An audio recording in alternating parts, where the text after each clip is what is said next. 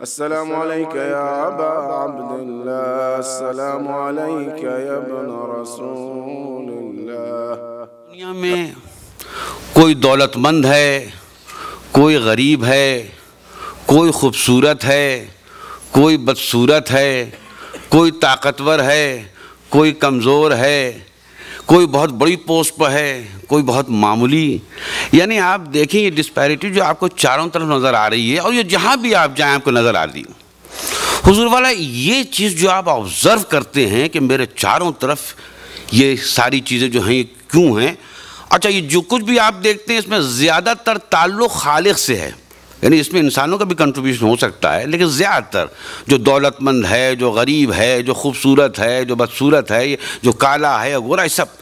तो अब जो खुदा के वजूद का इनकार करते हैं, उनको तो एक दलील मिल जाती है कि देखो, अगर खुदा होता और तुम कहते हो जो है वो आदिल भी है, रहीम है, करीम है तो ये कैसे मुमकिन हुआ कि खालिक जो है इंसान को बदसूरत पैदा कर देता है?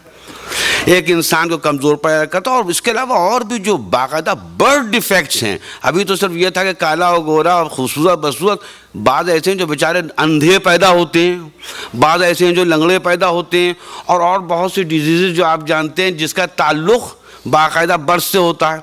तो अब इन सारी चीज़ों को देख कर जो अल्लाह के वजूद का मुनकर है, उसे तो एक दलील मिल जाती है। वो कहता है, देखो, अगर खुदा होता जैसा तुम बयान कर रहे हो तो ये कैसे मुमकिन था? अरे, तुम कहते हो और हमारा राहमीन एक छोटा सा बच्चा यतीम हो गया। उसकी माँ जो उसको दूध पिलाती, जो उसको परवरिश करती, वो मर गई और मौत अल्लाह की तरफ़ से आती है। खुद से तो मर होती नहीं है। तो अब मुझे बताओ, तुम यतीम पे रहम कर रहे हो? और वो जिसको तुम राहमीन कह रहे हो, वही जिम्मेदार है इसकी मौत का। अब होता क्या? ये सारे ऑब्जर्वेशन जो आप देख रहे हैं, मैंने अर्ज़ किया कि जो खुदा का मुनकर है, जो खुदा का इनकार कर रहा है, उसे तो एक दलील मिल जाती है। और जो बेचारे मजहबी हैं, अल्लाह के वजूद का इकरार करते हैं, लेकिन दीन को समझे नहीं हैं। कुरान मजीद का पूरा सही मुताला नहीं है, वो शिकवा करने लगते हैं। चुनानचे आपको मालूम है, अल्लामा इकबाल ने जो शिकवा लिखा था, जो शायर मशरक हो और इस्लाम के सारे हक़ को वाकिफ़ हो, क्या समझते हैं वो शिकवा करेगा? नहीं, उसने जवाब शिकवा लिखने के लिए शिकवा लिखा था। और इसीलिए अब आप पूरा शिकवा पढ़िए तो वो तो उस पूरे समाज की, पूरी कम्युनिटी के तमाम जो दिमागों के अंदर जो तासरात हैं, जो ख्याल हैं, जो कभी कह देते हैं और कभी डर के मारे नहीं कहते, उसको उन्होंने पूरे शिकवा में समो दिया। और इसीलिए बात शेर बड़े सख्त हैं। मौका नहीं, वरना मैं आपको पढ़ के सुनाता। और मैंने जब उस शिकवे को पढ़ा तो अगर खाली शिकवा होता तो मुझे भी शिकवा हो जाता कि अल्लामा ये क्या कर गए। लेकिन जब मैंने जवाब शिकवा पढ़ा तो मैं समझ गया कि ये शिकायत नहीं थी, बल्कि लोगों के जो दिमागों में जो वसवसे हैं उनको सामने रख कर उनको असल जवाब शिकवा लिखना था। और चुनान जब आप जवाब शिकवा पढ़ेंगे तो आपको पता चल जाएगा जितने शिकवे थे वो सब बेबुनियाद थे। तो आपने अर्ज़, मैंने अर्ज़ किया, अब है क्या? मसला क्या है? मसला ये है कि इन तमाम चीज़ों का जो मैंने आपसे अर्ज़ किया कि इसमें कोई शक नहीं कि ताल्लुक़ तो अल्लाह और खालिक की ज़ात से ही है, लेकिन बात दरअसल क्या है, इन तमाम प्रॉब्लम्स का और इन तमाम चीज़ों को जो आपने सामने चारों तरफ़ देख रहे हैं, इसका जवाब एक मिल जाएगा। और पूरे कुरान मजीद ने जो पेश किया है कि तुम्हें पता है ये कायनात क्या है? ये कायनात जिसमें तुम रह रहे हो, न मैंने इसमें किसी को इनाम दिया है अभी, न किसी को सज़ा दी है। ये तो इम्तिहान गाह है। ये एग्जामिनेशन हॉल है। और तुम एग्जामिनेशन हॉल में क्या देखते हो? जब तुम एग्जामिनेशन हॉल में देखते हो, जो यूनिवर्सिटी का एग्जामिनेशन हॉल हो, तुम देख रहे हो, सब बच्चे एग्ज़ाम दे रहे हैं। किसी के सामने केमिस्ट्री का एक पेपर रखा है, किसी के सामने फिजिक्स का रखा है, किसी के सामने बायोलॉजी का रखा है, किसी के सामने हिस्ट्री रखा है। सब इम्तिहान दे रहे हैं, सबके पर्चे अलग अलग हैं, लेकिन इम्तिहान क्या? सब हाल में एक ही है, यानी सब इम्तिहान दे रहे हैं। तो तुम्हें जो इस दुनिया के अंदर ये सारी चीज़ें मुख्तलिफ़ नज़र आ रही हैं, जिसको तुम देख कर चौक रहे हो? वजह क्या है? मैंने ये भी तो तुमको बता दिया कि एक इम्तिहान गाह है। ये एक एग्जामिनेशन हॉल है। अब इसको सामने रख कर सोचो। तो मैं तुम्हें बताऊँगा, जो दौलतमंद है, वो इसलिए नहीं कि मैं उससे बड़ा खुश था, इसलिए उसे दौलत दे दी। नहीं, उसको दौलत देकर मैंने उसका इम्तिहान लिया। जो दौलतमंद नहीं, गरीब है, उसको दौलत ना देकर मैंने उसका इम्तिहान लिया। जो तुम्हें खूबसूरत नज़र आ रहा है, जो तुम्हें बदसूरत नज़र आ रहा है, अगर तुम सारी तफसीलात देखोगे तो तुम्हें पता चलेगा दरअसल ये एक एग्जामिनेशन है जिसमें हर शख्स के सामने एक पर्चा रखा हुआ है और उस पर्चे को उसको हल करना है। सलावात पढ़े मोहम्मद वाले मोहम्मद। क्योंकि हकीकत में बात है, दौलतमंद होता है। देखिए, इसमें बहुत सी चीज़ें जो है इंसान की अपनी वजह से भी हैं। इसमें कोई शक नहीं कि इंसान की अपनी कमज़ोरियाँ और अपने इंसान के अपने एफर्ट से भी रिजल्ट्स हैं। लेकिन जो आप एकदम से ब्लाइंड देखें आप तो आपको नज़र, आपको दौलतमंद, किसी घर, दौलतमंद घर में कोई पैदा हो गया बिलगेट का जो बच्चा पैदा हुआ एकदम से मिलियनर और बिलियनर बन गया तो उसमें उसके क्या एफर्ट्स हैं? वो तो एक दौलतमंद घराने में पैदा हुआ, ऐसे दौलतमंद हो गया।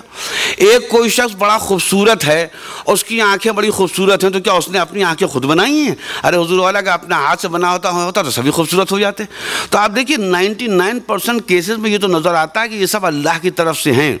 लेकिन सवाल इस बात का ये है कि अगर अल्लाह ने यह कहा होता कि ये कायनात मैंने बनाई है, और ये ना बताया होता कि ये एग्जामिनेशन हॉल है, तब तो ये सारे एतराज़ात हो जाते यहाँ इम्तिहान ये हो रहा है कि जिसको मैंने दौलत दी है, मुझे देखना है कि दौलत से इसके अंदर गुरूर तो नहीं पैदा हो गया, इसके अंदर तकबर तो नहीं पैदा हो गया। ये इस दौलत को कैसे इम्तिहान इंतज़ार उसका सर्व करता है?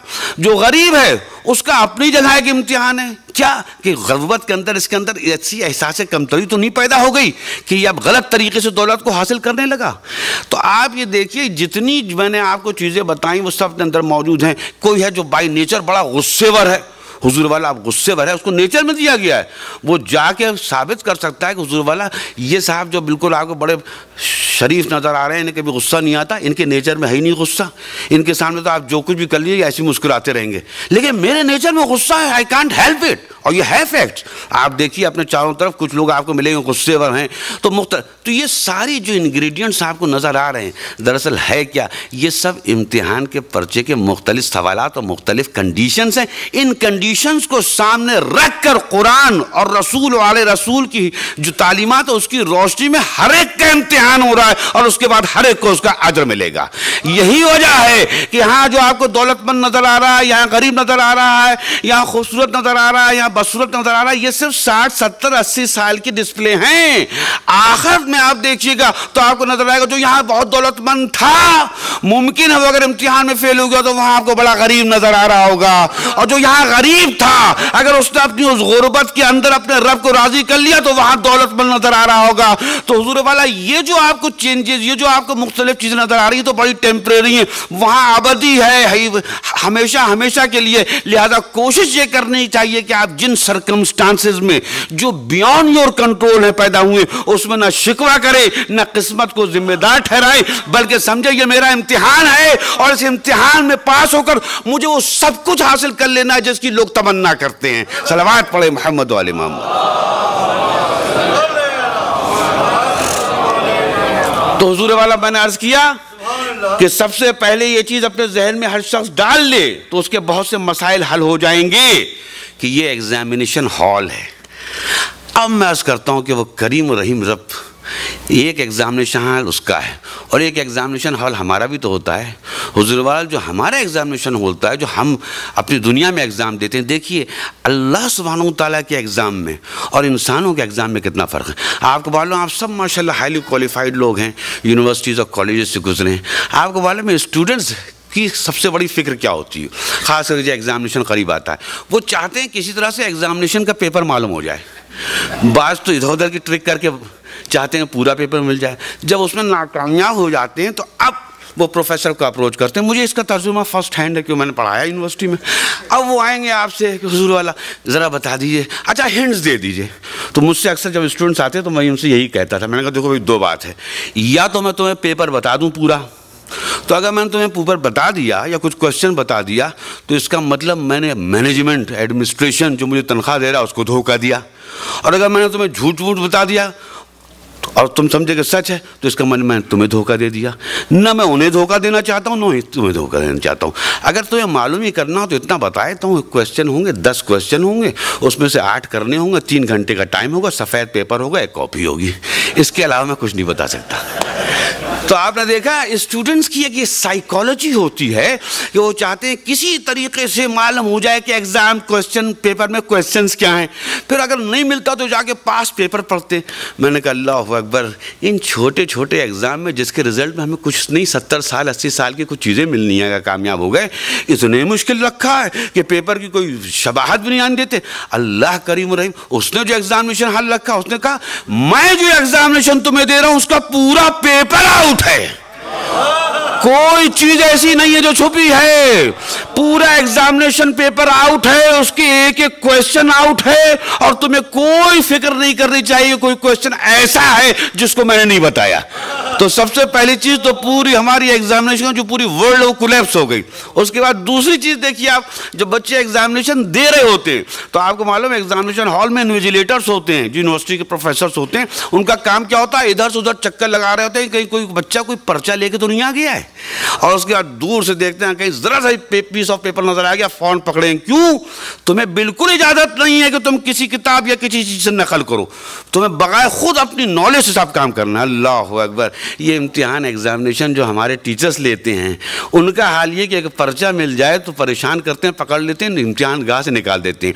वो रब करीम, उसने कहा तुम पर्चे की बात कर रहे हो। मैं तो किताबें भेज रहा हूँ इस एग्जामिनेशन हॉल में। एक नहीं, इससे पहले बाइबल आई उसके बाद कुरान आया होगा ये कुरान ऐसा है कि तुम्हारे हर सवाल का जवाब इसमें मौजूद है। अगर तुम पढ़ोगे तो तुम्हें इसमें मिल जाएगा। तो आपने देखा कि अल्लाह ने कहा कि ये सब, उसके बाद तीसरी चीज़ ये होती है, मैं आपको बिल्कुल कंडीशंस कंपेयर कर रहा हूँ कि जो इन्विजिलेटर्स होते हैं, वही प्रोफेसर होते हैं जिन्होंने पढ़ाया अब अगर मैं थोड़ा सा किसी क्वेश्चन में उनकी हेल्प भी लेना चाहूँ, ये समझ में नहीं आ रहा था थोड़ा सा आप एक्सप्लेन कर सकते हैं? हजूर बड़े गुस्से से बैठा दें, कुछ मत पूछो, जो कुछ पढ़ाना था पढ़ा दिया। अल्लाह अकबर, ये करीम और रहीम का एग्जामिनेशन है कि उसने कहा, तुम टीचर की बात कर रहे हो? मैं एक नहीं, एक लाख चौबीस हज़ार टीचर भेज रहा हूँ। और उसके बाद उनमें से एक ऐसा भी होगा तो उसका वसी जो कहेगा, सलूनी सलूनी पूछ लो, जब चाहे पूछ लो, जो चाहे पूछ लो।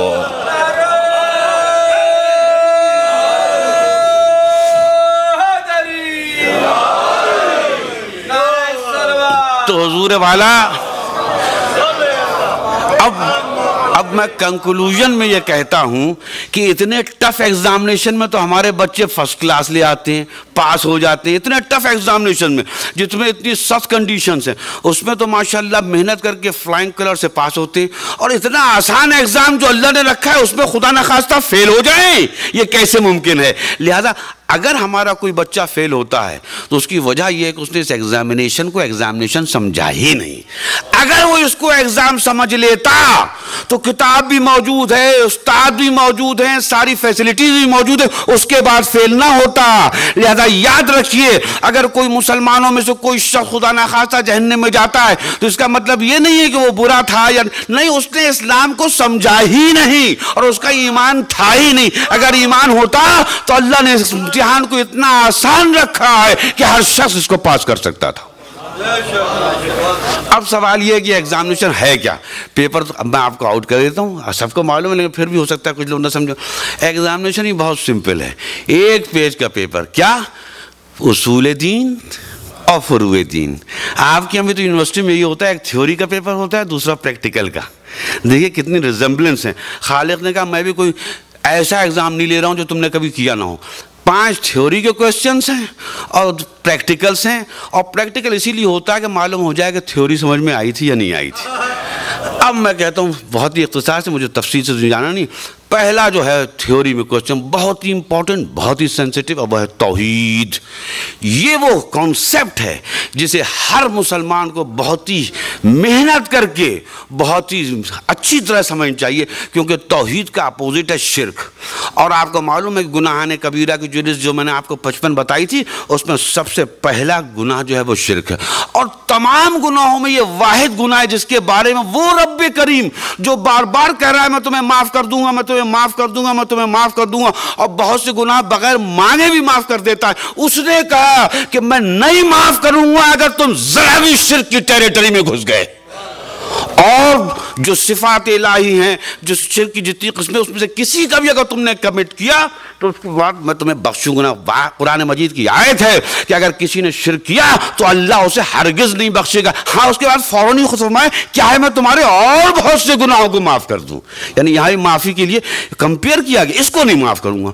तो इस लिहाज से इस चीज़ को पूरी तरह से स्टडी करना चाहिए, समझना चाहिए, शिरक की जितनी किस्में हैं, और उससे पूरी तरह अपने को पाक पाकिजा रखना चाहिए। क्यों? इसमें ताजुब और इसमें मुश्किल क्या है? अरे हम तो कातिल मुशरकिन के मानने वाले हैं, जिसका इमाम का लकब कातिल मुशरकिन हो, उसके मानने वाले से कैसे इम्कान हो सकता है कि उस टेरिटरी में घुसेगा? सलाबाद पड़े मोहम्मद वाले मोहम्मद।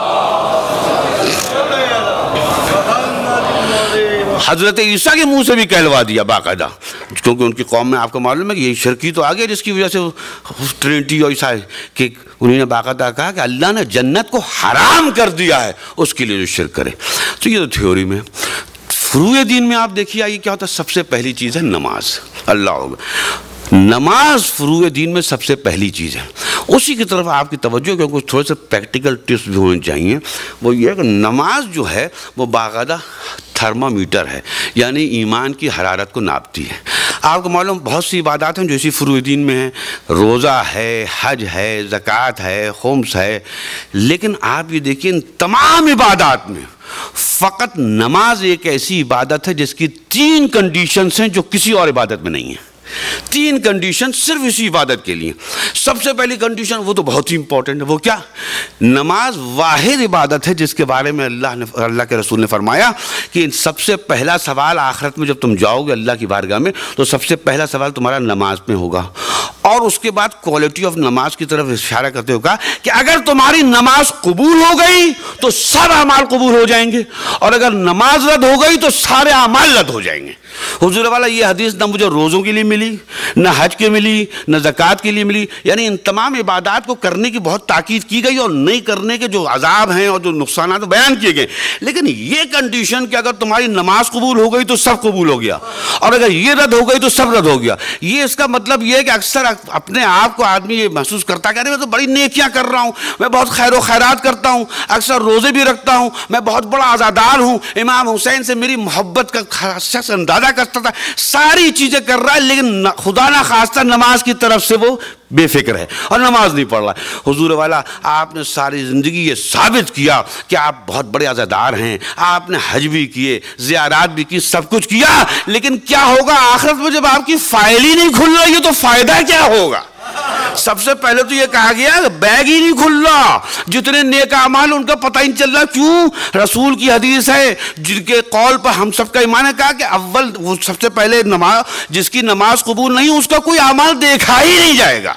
तो इसका मतलब ये नमाज़ इतनी इंपॉर्टेंट है कि अपनी सारी नेकियों और अपने सारे अमाल को अगर आपको बचाना है, और उसकी हिफाजत करनी है, और उसकी जजा अल्लाह से पानी है तो सबसे पहले अपनी नमाज़ को पूरी तरह से मुकम्मल करें, और उसको जितना हसीन बना सकते हो बनाए। ये तो पहली कंडीशन हुई। दूसरी कंडीशन ये कि कोई भी इबादत ऐसी नहीं है जो कंडीशनल अनकंडीशनल हो।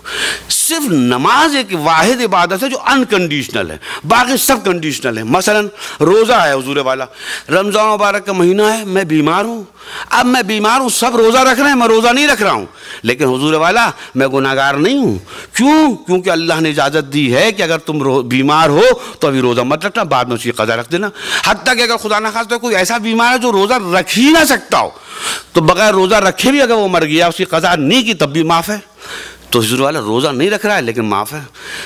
हज हज बहुत अहम इबादत है, अगर कोई हज किए बगैर मर जाए तो हदीस में वो ऐसा मरा जैसे ईसाई या यहूदी। लेकिन उसकी कुछ कंडीशंस हैं। वो कंडीशंस पूरी नहीं होती, मैं इतना गरीब हूँ कि हज कर ही नहीं सकता। सारी ज़िंदगी मैं रहा, मैंने हज नहीं किया, बगैर हज किए चला गया, लेकिन मैं गुनागार नहीं क्योंकि वो कंडीशन ही पूरी नहीं हुई थी। हज तो जब वाजिब होता है, जब आपके पास पूरी इस्तात हो, उस हज को करने की, उसके बाद ना करें तो आप गुनहगार होंगे। तो एक कंडीशन निकल आई ना, कि मैं हज नहीं कर सकता, इसलिए मैंने हज नहीं किया। ज़क़़त और खुम्स, बड़ी उसकी इंपॉर्टेंस है। कनेक्टेड हैं, अगर ज़क़़त नहीं कबूल हुई तो नमाज़ भी कबूल नहीं होगी, नमाज़ नहीं कबूल तो ज़क़़त भी कबूल नहीं होगी। ये सब अपनी जगह है। लेकिन मैं गरीब आदमी था, वो निसाबी कभी पूरा ना हुआ। तो मैं कहाँ से जक़ात देता, कहाँ से खुम देता?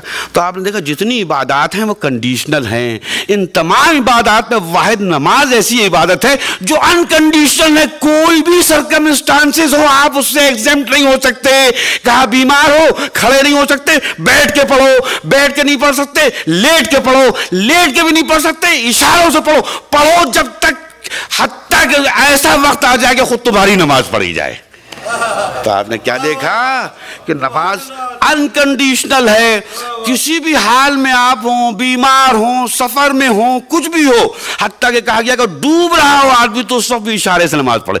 तो सारी इबादत कंडीशनल किसी वजह से मैंने नहीं की, तब भी गुनागार नहीं हुआ। लेकिन नमाज़ के लिए कोई ऐसी कंडीशन नज़र नहीं आती, जिसमें अगर आप कहें, इस वजह से मैं नहीं पढ़ सका। तो सबसे बड़ी चीज़ अनकंडीशनल सलावाद पढ़े मोहम्मद वाले मोहम्मद।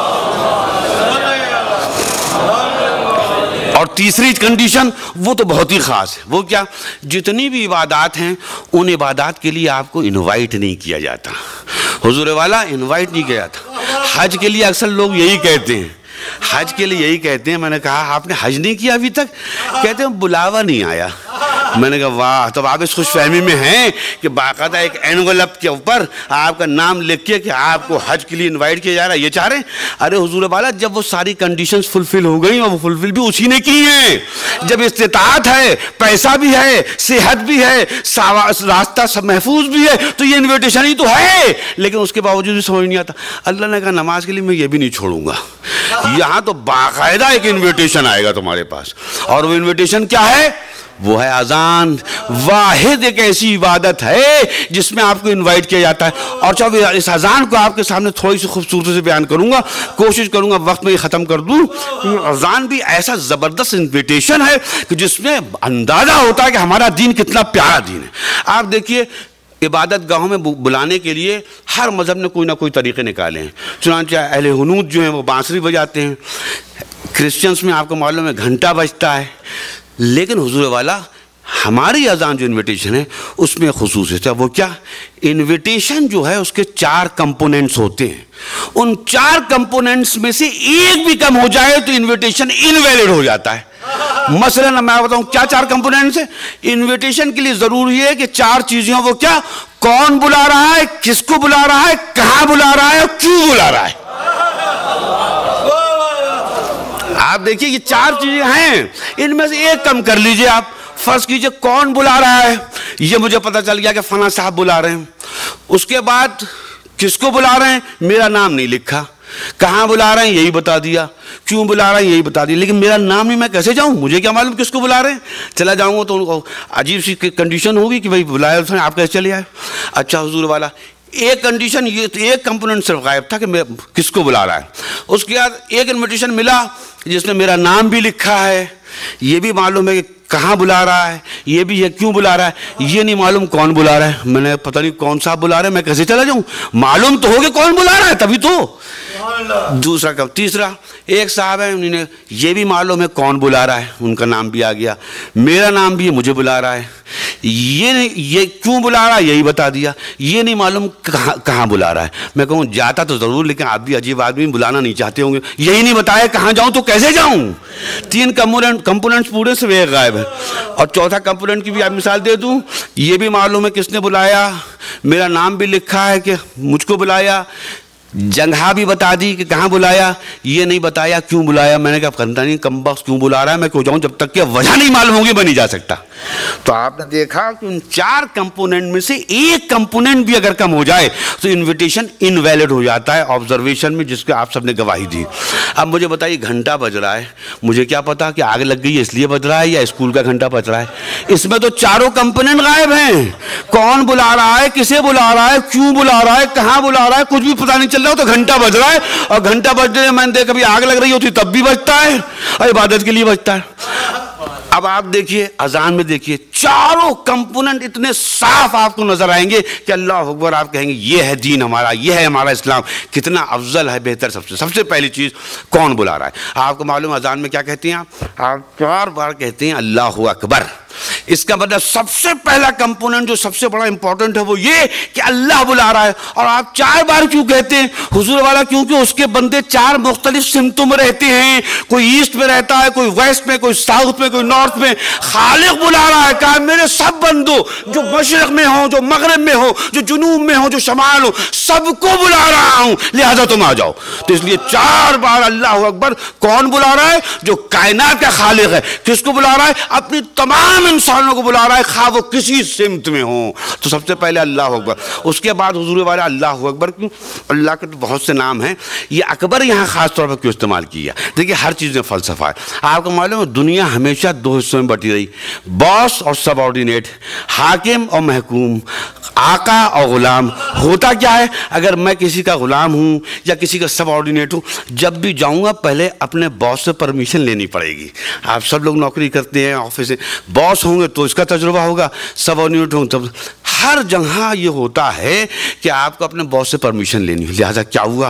क्या कहा? रहमान रहीम इतने नाम को छोड़कर अल्लाह अकबर। कौन बुला रहा है? वो बुला रहा है जो तमाम बॉसेस का बॉस है। अहकमुल हाकिमीन बुला रहा है।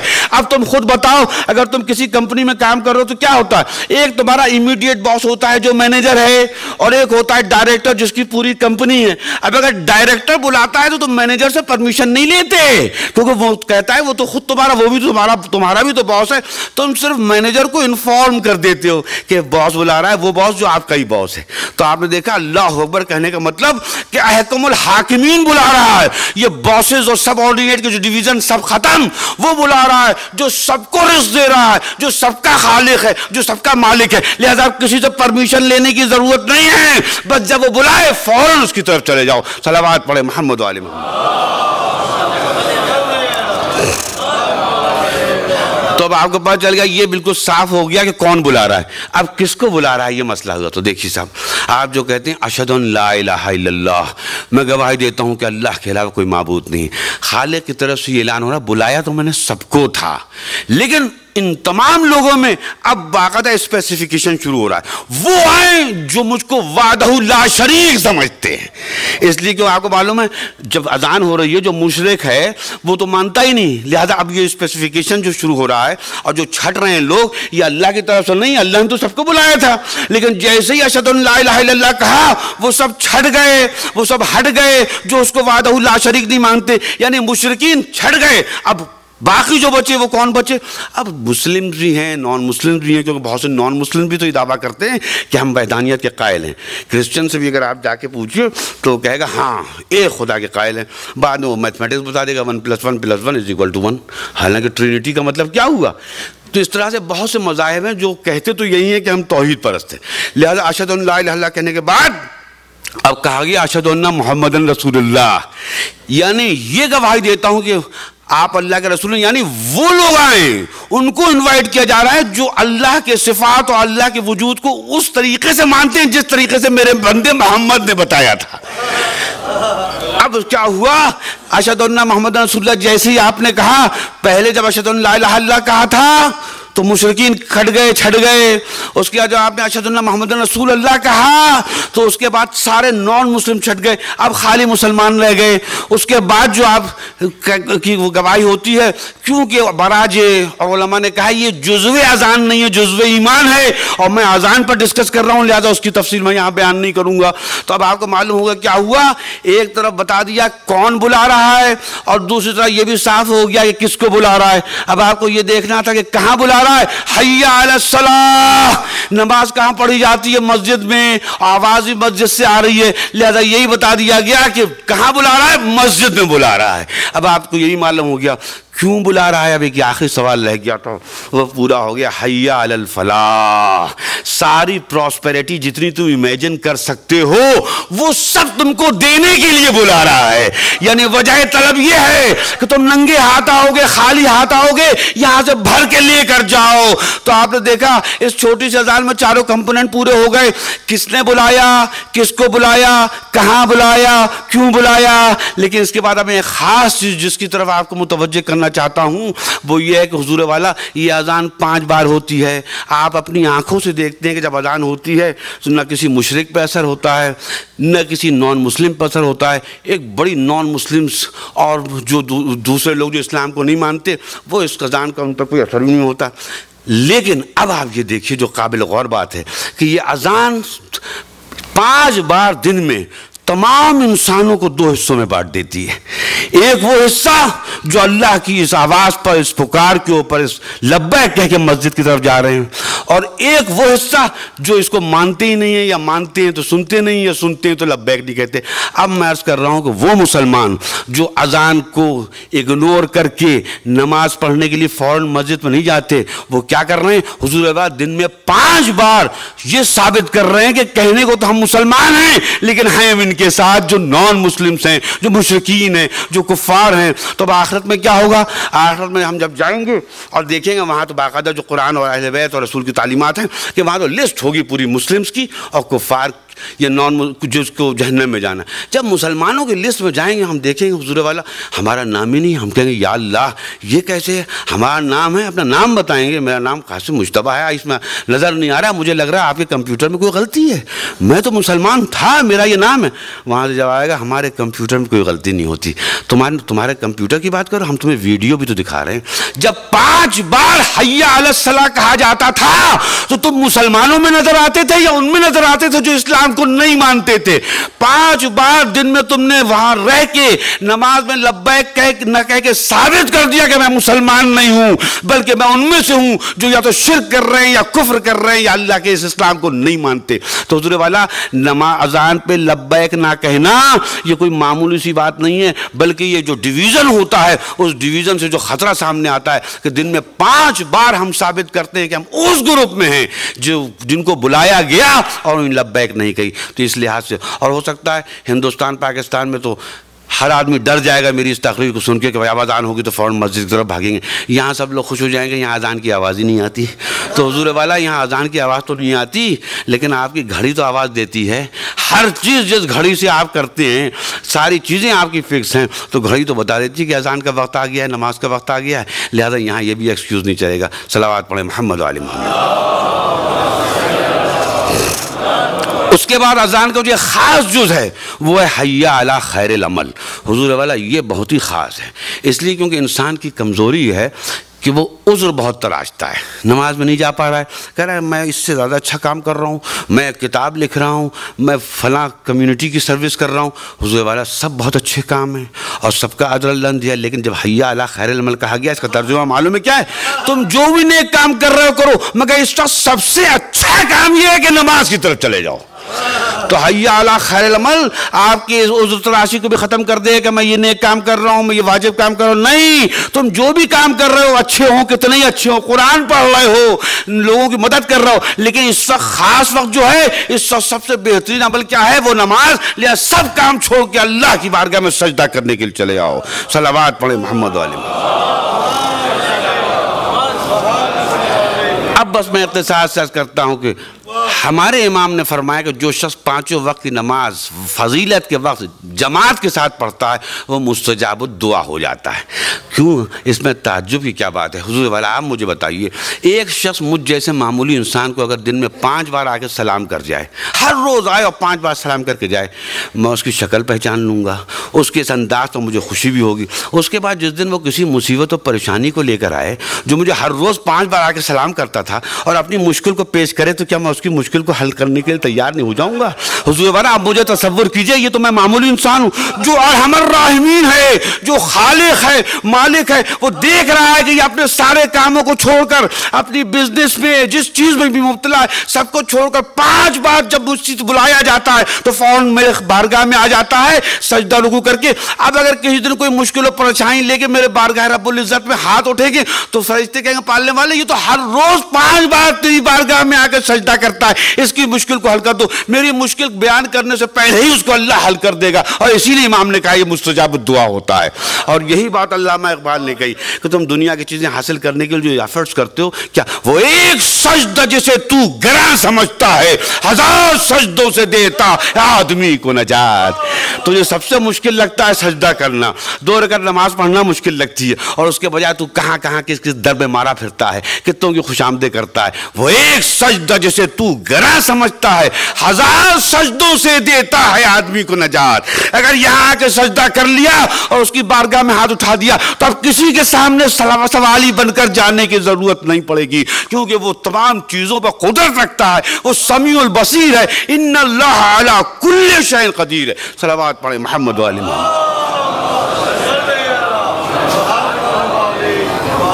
और हुजूर वाला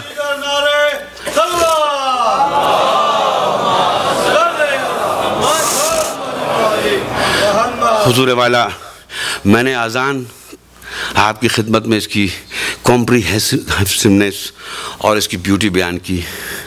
लेकिन इतनी हसीन अजान है, मगर उसके बावजूद मुझे तारीख़ में दो अजानें ऐसी नज़र आती हैं, जिसको सुनकर खुशी नहीं, बल्कि रोना आ जाता है। कौन सी अजान? सबसे पहली अजान वो है, अल्लाह अकबर। रवायत मिलता है कि बिलाल वफात रसूल के बाद मदीना छोड़कर चले गए थे। और बहुत अरसे के बाद वापस आए। जैसे ही वापस आए बीबी को खबर हो गई कि आए हैं, अल्लाह गो फ़ौरन आपके पास एक कासिद भेजा और कहा, बिलाल को बुलाओ। अब बिलाल आए, कौन है? अल्लाह अकबर। दोस्तर रसूल ने बुलाया है। सब काम छोड़ के फ़ौरन भागे भागे आए। कहा, मेरी जान आप कुर्बान फरमाइए, क्या हुक्म है? फरमाया बीबी ने कि, अब बिलाल, जब से बाबा का इंतकाल हुआ है और जब से तुम गए हो, तुम्हारी अजान नहीं सुनी लिहाजा मेरी ख्वाहिश ये है कि आज तुम अजान दो। अल्लाह अकबर, बिलाल ने अजान देना छोड़ दी थी। आपको मालूम है वाक़ात के क्यों छोड़ दिया था? बहरहाल बिलाल अजान देना शुरू करते हैं। रावी कहता है कि जब बिलाल ने अल्लाह अकबर कहा, दूसरे रसूल ने कहा, अल्लाह अकबर, जब बिलाल ने कहा अशद दूसरे रसूल ने कहा अशद जैसे ही बिलाल ने कहा अशद मोहम्मद रसूलुल्लाह। अरे अल्लाह अकबर, किसी ने आके बिलाल से कहा, बिलाल बिलाल, रुक जाओ। अरे ऐसा लग रहा है जैसे कुफसर अंसरी से ऊपर वास कर जाएगी। मैं कहता हूँ दारान हुसैन, सिर्फ़ बिलाल के मुँह से अशद मोहम्मद रसूलुल्लाह सुनकर, अरे बीवी का यह हाल हुआ। कैसे लगा कि कुफसर अंसरी से ऊपर वास कर जाएगी? मैं बीबी की सामने हाथ जोड़ के कहूँगा, आपने तो सिर्फ़ बिलाल की आवाज़ याद आ गई थी और दौरे रसूल याद आ गया था। जरा अपनी बेटी जैनब से पूछिए, जिस दिन आशूरा के रोज हुसैन ने क्या किया?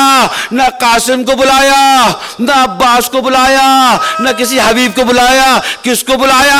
अली अकबर को बुलाया। फजर के वक्त का अली अकबर, अजान दो, मेरी समझ में आ गया। क्यों? अरे ये शबी रसूल है लिहाजा शबी रसूल तो मैं कहता हूँ, बीबी, आपने तो सिर्फ़ वो जमाना याद करके आपका यह हाल हुआ। अरे आपकी बेटी का क्या हाल होगा जब वो देख रही है कि शबी रसूल अजान दे रहा है?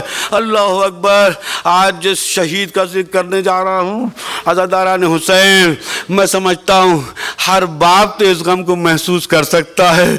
मेरे बच्चे और नौजवान नहीं महसूस कर सकते बाप का दिल क्या होता है? रवायत मिलता है और वाकयात से ही मिलता है कि देखिए, बाप की सबसे बड़ी कीमती चीज़ उसका बेटा होता है। क्यों?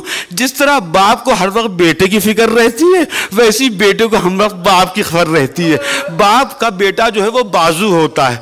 अल्लाह हुसैन तभी मुझे नज़र आता है कि जब ये काफिला जा रहा था और एक दफ़ा इमाम हुसैन के मुँह से निकला, इन्ना लिल्ला है वह इन्ना लहराजून अरे हुजूर, सभी चाहने वाले थे, अब्बास भी थे, उनकी मोहब्बत पर नाउजुबिल्ला में शक नहीं कर सकता।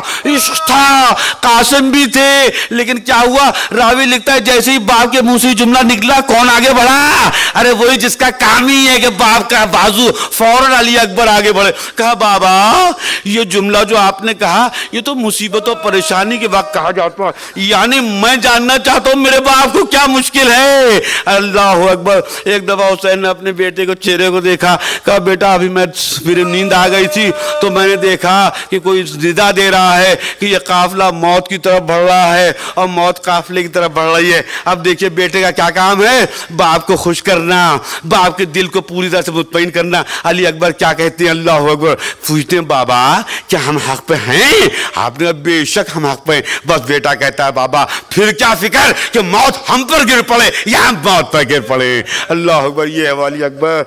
मगाजा दारान हुसैन आप किस तरह से उनकी मसाइब को सुनेंगे, मैं देखता हूँ कि जब भी कोई इमाम हुसैन के पास आया, देखिए मैं तमाम वाक़ात को, ये हर रात को पढ़ रहा हूँ, और जो उसके यूनिक फीचर हैं, वो आपके सामने पेश करता हूँ, मुझे आपका पता नहीं, मुझे तो गिरिया इन्हीं चीज़ों पर आता है कि अल्लाह जब मैं एक फ़र्क देखता हूँ, आपको मालूम है, जो भी आया, इमाम के पास जिहाद की इजाज़त लेने के लिए, चाहे वो कासिम हो, या उन मोहम्मद हो, या आपके असहाब हो, हर के इमाम ने रोका है, नहीं, मैं तुम्हें कैसे इजाज़त दे सकता हूँ? तुम तो मेरे भाई की निशानी हो तुम तो ये हो, ये सारी चीज़ें आपको मैं इससे पहले अर्ज़ करता रहा। हूँ अल्लाह अकबर। लेकिन जब बाप के सामने उसका जवान बेटा आया तो मेरा गैरतमंद हुसैन, मुझे ये कहता हुआ नज़र नहीं आता कि बेटा मैं तुम्हें कैसे इजाज़त दूँ? तुम मेरे बेटे हो।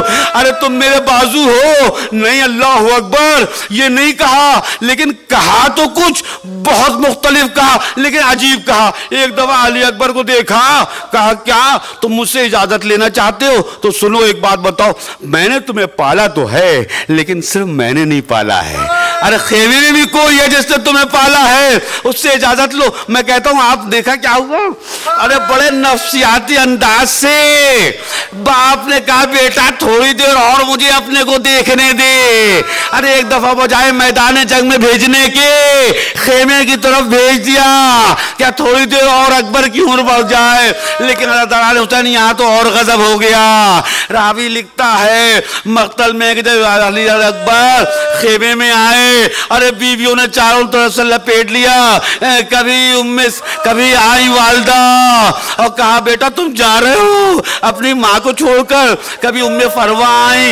एक एक बीबी आ रही है, सकीना आ रही है, बच्ची आ रही है, हज़रत जैनब आई, गले से लगाए, बेटा और बाब अजा, इसके बाद मुझे नहीं मालूम। रावी एक जुमला लिखता है। देखिए, आपने भी देखा होगा, जब हमारे घरों में मौत होती है तो क्या होता है? एक आदमी मरता है, या तो बाप मरा होता है, या भाई या बेटा। लेकिन मैंने देखा है, हर शख्स को इसका तजुर्बा कि जब जनाजा निकलता है तो एकदम से सारी औरतें लिपट जाती है और उसके बाद जनाजे को पकड़ लेती है। रावी ने एक जुमला ऐसा लिखा है, जिससे मुझे अंदाज़ा हो गया कि क्या हाल था। रावी ने ये कुछ नहीं लिखा। कहा, अली अकबर जब निकलना चाहते थे, ऐसा लगता था जैसे भरे घर से कोई जनाजा निकल रहा हो। अरे पर्दा उठता था, पर्दा गिरता था। अली अकबर बड़े एक दफ़ा माँ ने दामन पकड़ लिया। अरे बेटा थोड़ी देर हो अली अकबर बड़े उम्मे फरवा ने पकड़ लिया।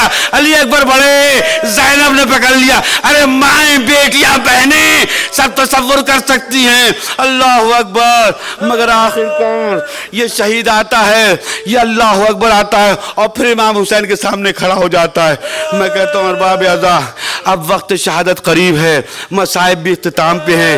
लिहाजा एक एक जुमले को आप ज़रा गौर से सुने, फिर मैं कहता हूँ, देखिए, यह मेरा तो दिल यही कह रहा था कि बाप जज्बात में आकर यही कहेगा, बेटा, तुम तो मेरी जवानी का सहारा थे, तुम तो मेरा सहारा थे, तुम चले जाओ, लेकिन नहीं, जब कोई फिदिया बारगाह रब्बुल इज़्ज़त में पेश किया जाता है तो अपनी कमज़ोरी और अपनी जिस चीज़ से मोहब्बत है, उसका इजहार नहीं किया जाता क्यों ये तो मैं कुर्बान कर रहा हूँ। ये नहीं कहा कि बेटा तुम बाप का दिल तोड़ के जा रहे हो। एक अजीब जुमला कहा, जैसे ही देखा और जाने की जायदी का परवरदिगार अब मैं उसको भेज रहा हूँ। किसको भेज रहा हूँ? मैं तो समझा था, कहते मैं अपने इस्माइल को भेज रहा हूँ। अपने जवान बेटे भेज नहीं।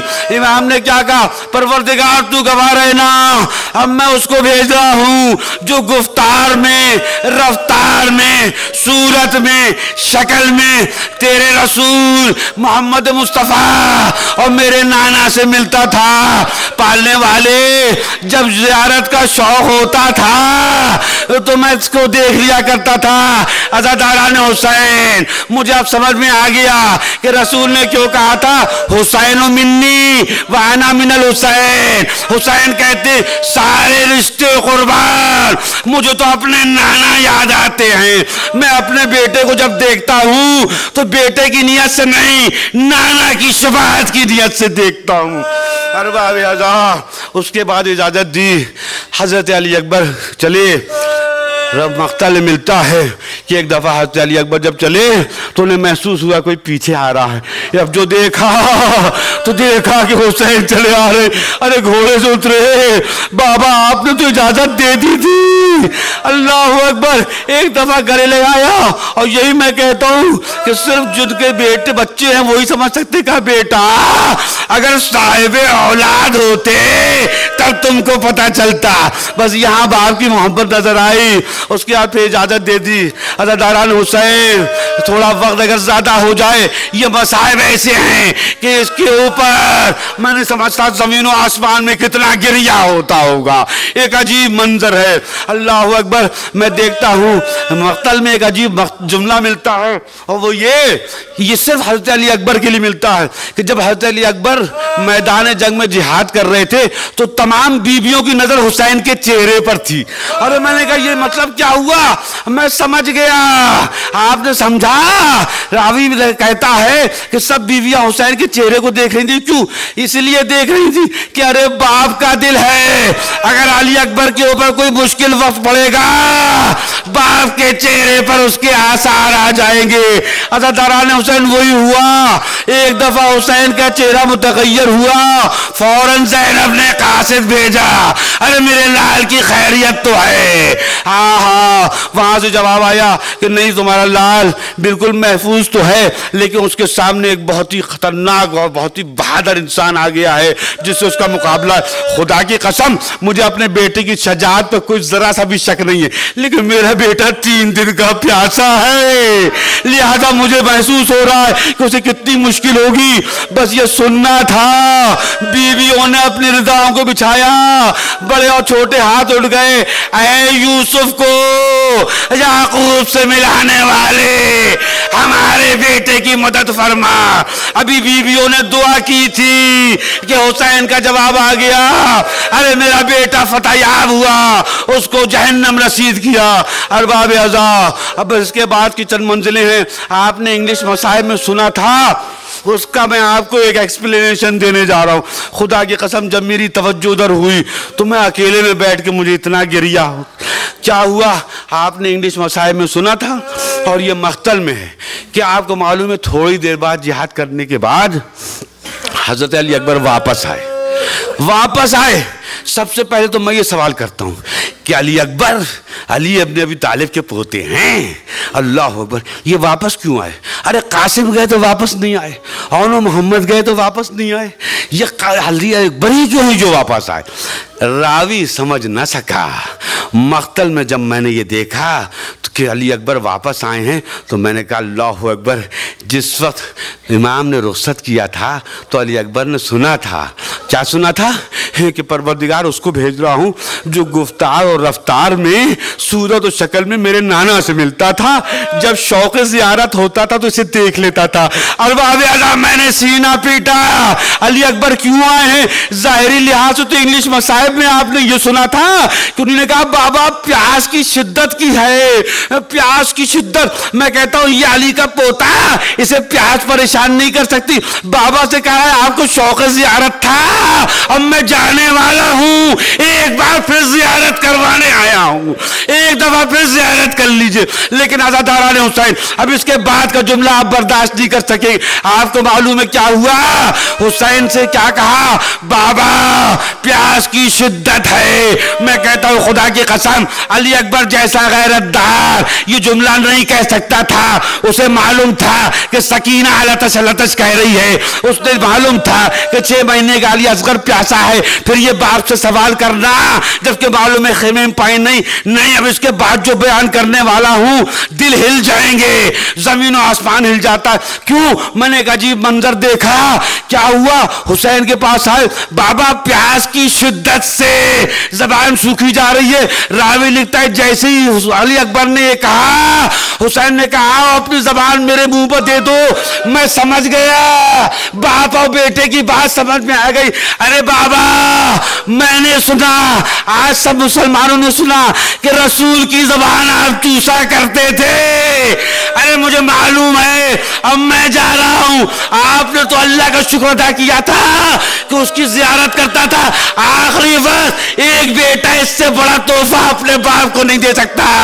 अरे प्याज की शिकायत नहीं थी, रसूल की जबान चुसानी थी। कावी लिखता है, जैसे ये कहा, हुसैन ने अपनी जबान अली अकबर के मुँह में दे दी। मगर बाब अदा जैसे ही जबान दी, बेटा था, फ़ौरन जबान निकाली। कहा, बाबा, मेरी जबान, आपकी जबान तो मेरी जबान से भी ज़्यादा सूखी है। हज़रत आरान हुसैन उसके बाद आपने इजाज़त दी और आप दोबारा गए और उसके बाद जिहाद हुआ। अल्लाह अकबर। बस ये आखिरी मरहले हैं कि आप जिहाद करके जिस तरीके ज़मीन पर गिरते हैं, आखिर में कहते हैं, बाबा, मेरा आखिरी सलाम। अजादारान हुसैन, ये आखिरी लम्हात बयान करना बहुत मुश्किल है। अभी कल की मजलिस में मैंने पढ़ा था कि जिस वक्त कासिम ने आवाज़ दी थी तो हुसैन ऐसे दौड़े थे जैसे शेर अपने शिकार पर दौड़ता है। अब तो जवान बेटा था। मैं तो समझा था कि हुसैन वैसे ही दौड़ेंगे, मगर मख्तल में अजीब मंजर देख रहा हूँ। मैंने देखा कि जब हुसैन ने सुनी अपने जवान बेटे की आवाज़ कि बाबा मेरा आखिरी सलाह तो क्या हुआ? एक दफ़ा मख्तल कहता है, हुसैन ने कहा, बेटा बार बार आवाज़ दो, मेरी बीन आई चली गई। मुझे रास्ता नज़र नहीं आ रहा है। अली अकबर, मैंने एक दफ़ा कहा, अली ने कहा, हुसैन ने कहा, या अली या अली, मुझे नहीं मालूम कि नजफ में बाबा को पुकार रहे हैं, या मख्तल में बेटे को पुकार रहे हैं। एक दफ़ा ये बूढ़ा बाप किसी तरीके से पहुँचा। और ज़्यादा हुसैन, एक अजीब मंजर है। अली अकबर के सीने में एक खंजर लगा है। बस मैं कहता हूँ ये आखिरी मंजिलें हैं। एक दफ़ा देखा, एक खंजर है जिससे खून बल रहा है। अब क्या हुआ? हुसैन आगे बढ़ते हैं। मगर नहीं, आप जियारत वारसा पढ़ते हैं। सारे पैगंबरों को जिस पर सलाम है, मैं कहता हूँ, इस्माइल आगे बढ़े होंगे। अरे जब मेरे बाबा को जबा करना था तो मैंने कहा था, आँख पर पट्टी बाँध लीजिए। अल्लाह अकबर, आप पर आँखों पर पट्टी बांधे, मगर ये करबला का इब्राहिम आगे बढ़ता है। एक दफ़ा सीने से खंजर निकाला, खून का फवारा बड़ा बेटे का आखिरी सलाम हुआ। बेटा बाप के सामने रूया से परवाज कर गई। अजादारान हुसैन बस इसके बाद मैं ये बयान करता हूँ और इसी पे आलम निकलता है कि अब मैं देख रहा हूँ अजीब मंजर है। अरे ये वही हुसैन थे जो कासिम की लाश को लाए थे और मोहम्मद की लाश को लाए थे, हबीब ने मजाही की लाश को लाए थे। मगर आपको मालूम है, जब भी लाश को लेने जाते थे, साथ में जवान बेटा होता था। इसलिए लाश को ले आते थे। अब एक दफ़ा हुसैन ने जवान लाश देखा, उठाने की कोशिश की, मगर करबला का इब्राहिम जब इस लाश को न उठा सका तो एक दफ़ा खेमे की तरफ़ आवाज़ दी, आए मेरे बच्चों, आओ मेरी मदद करो, ताकि मैं अली अकबर की लाश को खेमे में ले चलूँ। मातम है